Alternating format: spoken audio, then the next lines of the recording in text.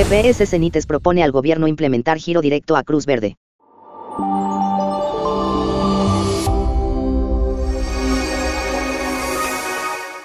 Me complace saludarte a través de Si Te Vende. Somos un medio disruptivo, independiente, alternativo e inclusivo. Queremos brindarte información única y fomentar tu participación sin restricciones en los comentarios.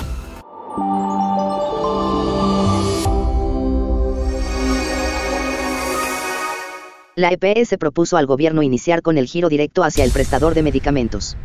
Los recientes comunicados sobre la suspensión de medicamentos e insumos de Cruz Verde a los afiliados de la EPS Cenites han generado nueva tensión e incertidumbre por el futuro del sector de la salud en Colombia. Según anunció el dispensario, todos los medicamentos que no estén en el Plan de Beneficios en Salud, PBS, dejarán de suministrarse desde el próximo 15 de noviembre. La razón principal de esta decisión, según Cruz Verde, tiene que ver con que Cenites le adeuda una suma de unos 400.000 millones de pesos. Esta deuda entre los dos actores del sistema se ha venido acumulando durante los últimos tres años y hasta ahora no se ha logrado un acuerdo de pago para la continuidad. Frente a esto, la Superintendencia de Salud manifestó que Cenites deberá priorizar la entrega continua de los fármacos e insumos médicos requeridos por sus usuarios. Por su parte, la EPS rechazó la comunicación de Cruz Verde y aseguró que desde que se recibió la notificación unilateral, la EPS está buscando alternativas y activando planes de contingencia para que la dispensación de medicamentos no PBS se vea lo menos afectada posible. Cenites agregó que el tema de presupuestos máximos con el que está relacionada esta decisión se alertó al gobierno nacional desde hace meses, sin que hasta el momento se tenga una respuesta al respecto.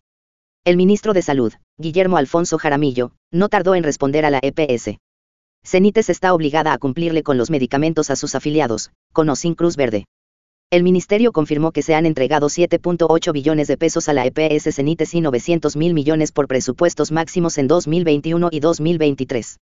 La Supersalud envió requerimiento a la EPS Cenites para que informe las acciones desplegadas que garanticen la prestación de los servicios de salud y de respuesta a sus afiliados por las quejas frente a la no entrega de medicamentos.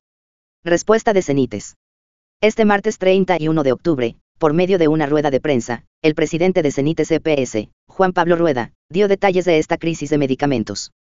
En esta difusión nosotros como EPS y hace tres meses en compañía de otras EPS relevantes del sector, Sure y Compensar, tomamos la decisión de alertar al gobierno de una situación compleja que se venía presentado de hace varios años.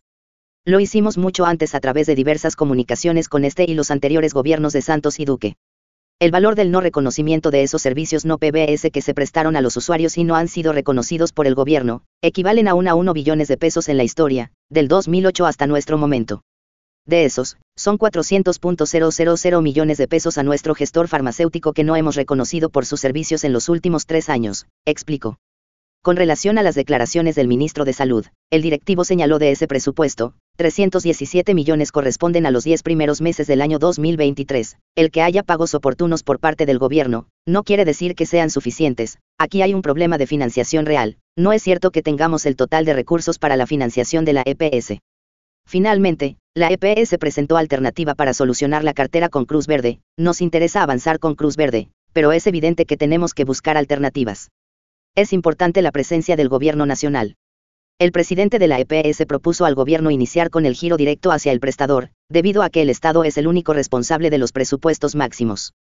Por último, Rueda calificó de desafortunado el anuncio de Cruz Verde y aseguró que este dispensador seguirá prestando los servicios de los medicamentos PBS, allí tiene que haber normalidad, tenemos oportunidad de pagos muy buena destacada en el sector de los PBS.